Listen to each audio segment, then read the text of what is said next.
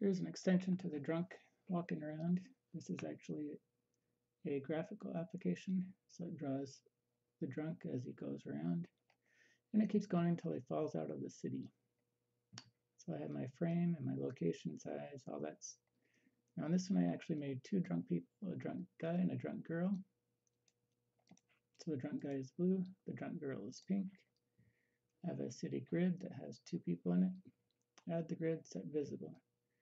Okay, now this is the animation component. I have a timer. I have it set to run at zero, which means it fires immediately. Then an action listener that listens to the timer. And the action performed when the timer goes off is we check to see if the drunk guy is alive and the drunk girl is alive. If either one's alive, that's the OR, we then check to see if the drunk guy was alive. We tell him to make a walk. If the drunk girl is alive, the drunk girl walks. We invalidate our frame and repaint the frame so that our screen gets redrawn. Otherwise, if these two are both dead, we just stop our timer. So our timer adds the action listener, this, and we start it. So as the timer runs, it runs this, which redraws the screen as basically as fast as it can.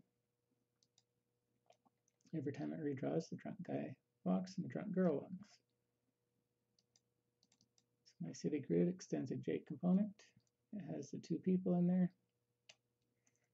I need to have a list of points to keep track of where they were because I draw, draw their entire path, not just where they currently are. And then my person has a direction they're going to go, where they're currently at, random number generator. This could actually be a class level variable, so it would be shared amongst the two different people, but right now it's not. So I create the person. When they walk, we get a direction. We switch the direction if it's north, south, east, or west. And it returns the x and y, and this is how we know if they're alive. If x is greater than or equal to the low and less than equal to high, same with the y. These are the bounds of the city. And that's pretty much it. So here we'll run it once.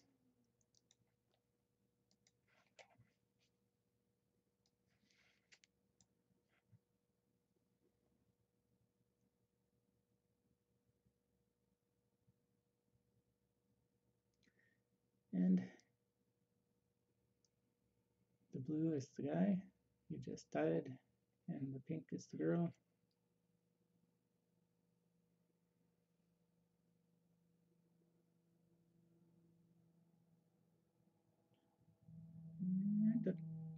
She just went off the side too. I'll run it one more time. Try and get it in the screen quicker.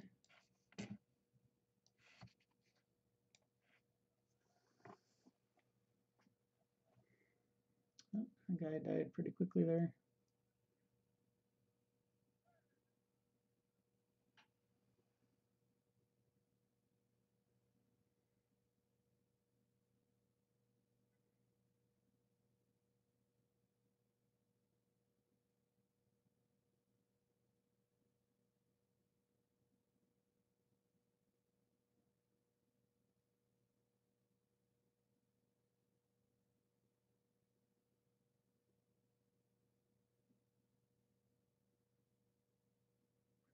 And there, the girl finally fell off the grid and died also. So this is an extension to the current trunk project. If you want to make yours like that, that would be cool. You draw some nice random images.